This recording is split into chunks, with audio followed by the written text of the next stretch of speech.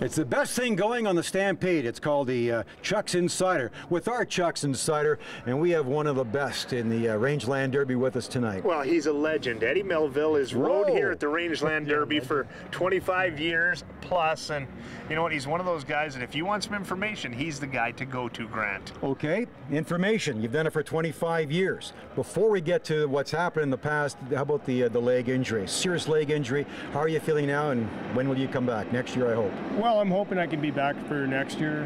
At least ride a few heats. I'd like to finish my career at the Stampede, but legs coming along good. Uh, it was kind of a slow winter, pretty crippled up, but uh, starting to come around now, so I'm, I'm thankful. Okay, 25 years in this business, that's a lot of years, but uh, I read recently that you still love it. It still drives you, that you think nothing else is better in life than being here out riding.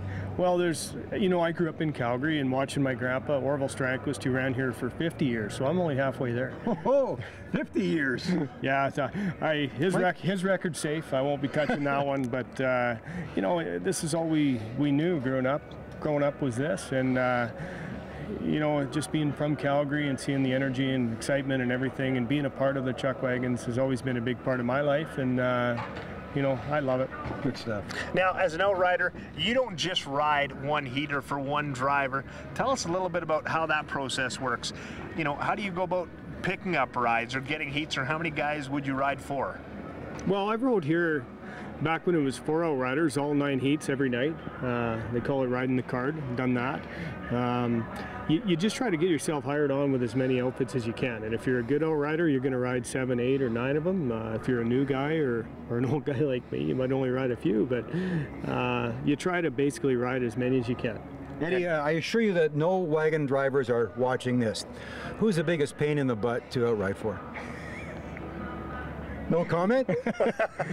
well, it depends, I guess. Uh, if you make a mistake, then uh, then they're mad at you. You'd probably say that guy. But, yeah. okay, when uh, the outriders are penalized, is it two seconds when you're late? Is that what it is? One second for Okay. being late, two if you hit a barrel or something like that. Is it ever the wagon driver's fault if you're late? Can you blame them anytime? Uh, yeah, but it probably won't get you very far. Um, you know, usually, especially when you come to Calgary, we've kind of called out the so-called bad horses. You know, the best come here, so uh, you won't see as many penalties here as you do on the circuit when we're breaking new horses because there isn't that many new ones here. So. Eddie, uh, thanks this. I try to get some controversy going here. Yeah? You- you- I try. you- you I don't- try. you Still don't coming have to. back, I can't You don't call it have out to, now. I might come back sometime. I mean, I, I, I, have, I have one thing I want to know, and I know you've been up there a couple times. What's it like when you've rode for the guy that's won the Rangeland Derby and you're one of those guys on that stage on night 10?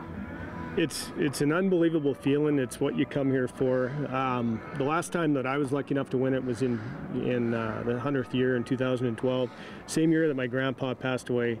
We were with Troy Dorchester, and Troy and my grandpa were good friends. So while we were up on stage, me and Troy, I think we were thinking, you know, those two old guys are looking down and saying, well, you know what, maybe the kids did okay today. Well, no, and, and that's great. I mean, you guys are the unsung heroes of the wagon races, and we thank you for doing this. Appreciate it, guys. Yeah, Eddie, Awesome. thanks very much, and uh, good luck getting healthy again. Appreciate it. Thanks. That's the Chuck Insider, Grant Pollock with Mike LaBelle and our guest, Eddie Melville.